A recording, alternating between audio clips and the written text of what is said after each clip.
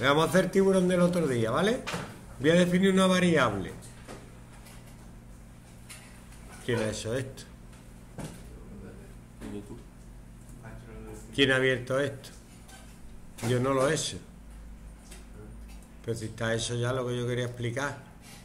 Es como en las pelis, cuando se te va el tiempo y, vuelve el, el personaje y ya, y ya está todo hecho. Y el tío hace, pero ¿cómo está todo esto hecho?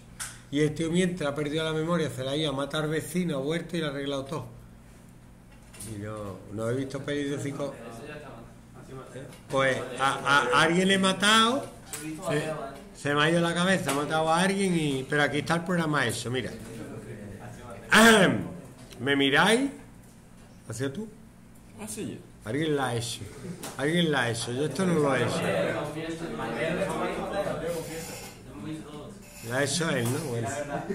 Bueno. Pues declaro una variable que se llama tiempo, que al principio vale 2000, igual que el otro día hacía 2 segundos. Esos son 2 segundos.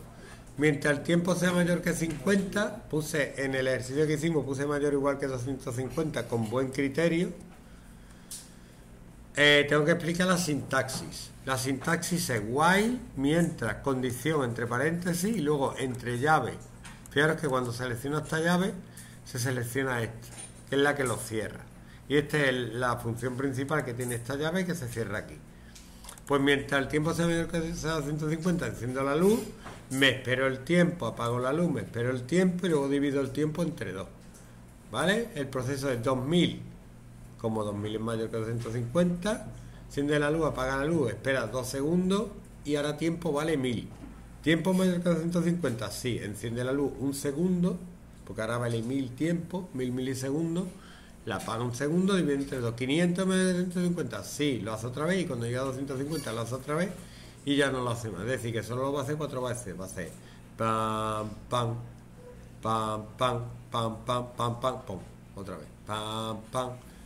Porque el, ya os digo que el LED no reacciona más rápido que eso. Ni vosotros lo vais a ver. Y yo menos, que soy mayor.